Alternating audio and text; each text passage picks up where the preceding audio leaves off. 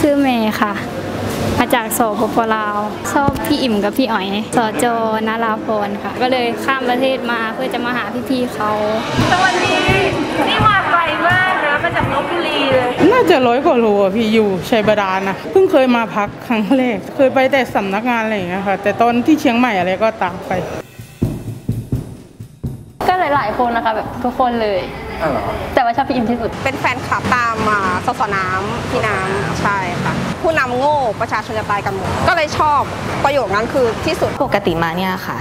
ก็นั่งทำงานทำการบ้านปกตินะคะพักก็แค่ช่วงที่พี่อิ่มลงมา ก็พี่อิ่มลงมาก็มาหาพี่อิ่มหาพี่อิ่มเสร็จก็กลับไปทำงานเหมือนมาคาเฟ่อะไรเงี้ยพอมาเจอกันมันคุยเรื่องเดียวกัน มันก็รู้สึกว่ามันผ่อนคลายมันโอเคมาก มันก็เลยกลายเป็นมิตรภาพยาวๆมาเรามาแล้วเราแบบว่าได้รับอะไรที่มันเป็นแบบว่ากำลังใจ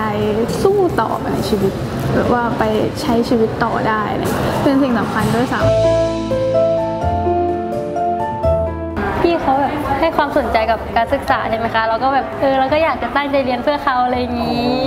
ตั้งใจเรียนให้เมน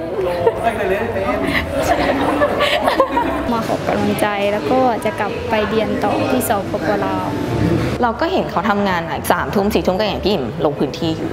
มันก็เลยรู้สึกว่าเขายังแบบว่าทำได้เลย เราทำแค่นี้เอง แค่แบบเอาตัวเองขึ้นมานั่งอ่านหนังสือ มาเรียน มาพยายาม แล้วสุดท้ายแบบพอตั้งแต่เจอพี่อิ่มอะเกรดมันดีขึ้นจริง ๆ เห็นคลิปที่พี่ฟางส่วนใหญ่จะแบบมีสปีชเป็นภาษาอังกฤษอะไรอย่างเงี้ยค่ะ ก็จะไปเข้า ไปฟังถอดเทปแปลออกมา ได้รู้เยอะขึ้นด้วย ได้ศึกษาในเรื่องนั้นๆอะไรอย่างเงี้ยค่ะ บางทีแบบว่าลูกค้า toxic มันก็เหมือนแบบอะมีพี่น้ำมีเป็นรอยยิ้มหรือพี่น้ำจะมีคำพูดดีๆมาให้เราแบบมีกำลังใจในการทำงานอย่างเงี้ยค่ะเช่นพี่น้ำอะจะชอบพูดคำว่าให้ปล่อยวาง ให้ปล่อยวาง บางทีเครียดๆอะไรอย่างเงี้ยดูพี่เขาก็ยิ้ม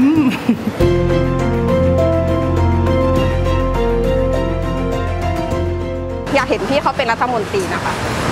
ใช่ค่ะอยากเหมือนอยากส่งพี่เขาให้เป็นรัฐบาล เหมือนมันรู้สึกว่านั่นน่ะคือความคาดหวังที่เราอยากให้เป็นที่สุดแล้วค่ะ ถ้าตอนนี้หนูไม่ได้ไม่ได้คาดหวังอะไร ถ้าคาดหวังน่าจะเป็นห่วงมากกว่าค่ะวันไหนที่ความฝันของเขาเป็นจริง คือการที่เขาได้เป็นรัฐบาล ได้ทำในสิ่งที่เขาแบบเขาตั้งใจ วันนั้นเราอาจจะได้เห็นอนาคตของหนูที่หนูฝันไว้ในประเทศนี้ก็ได้ ก็คือว่า